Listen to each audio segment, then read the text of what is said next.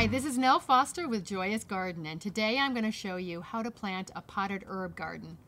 How wonderful it is to have herbs right at your doorstep so you can step outside your kitchen and get some some herbs for cooking. I'm I myself am not right outside my kitchen, but I am in my backyard on a very sunny day at the end of January. So I planted this Italian parsley, which is beautiful. It's um it's very ornamental too. This is I've angled this out slightly so it'll grow. This is um this was a little bit dry. I just watered it. It'll perk up. It's the columnar Greek basil, so it'll stay nice and, and nice and tall and narrow. These are red onions, which really aren't herbs, but I'm just pretending they're chives.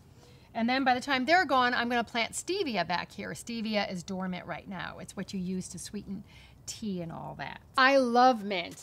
I drink it with lemon and ginger and water every day, but there's something to consider when planting mint. I have three different kinds of mint in here. And because it is the end of January, it is semi-deciduous now. In the season, it's all in the nice and full mint pot, but I can still pick some. Is, it, is that you want to plant mint in a separate pot or you want to contain it somehow because mint spreads and mint takes over. So I just wanted to tell you that. I just wanted to show you my little herb garden over here.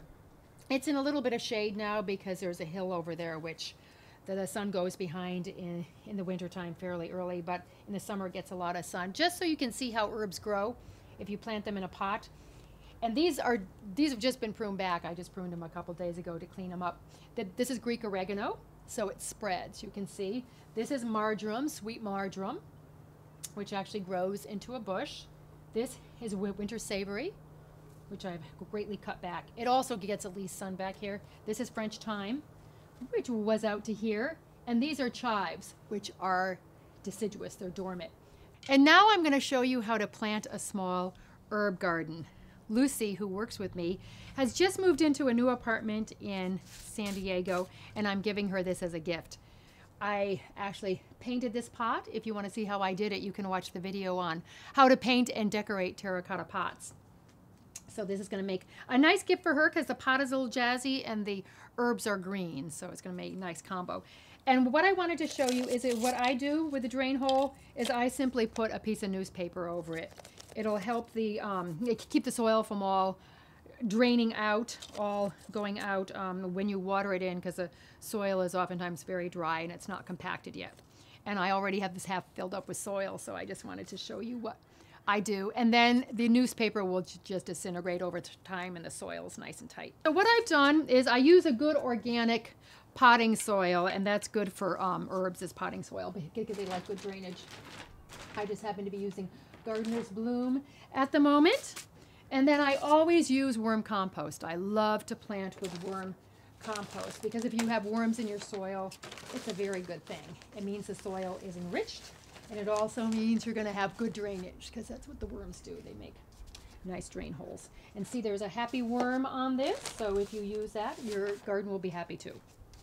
So I just sprinkle in a little bit of the worm compost because it's a little bit more concentrated.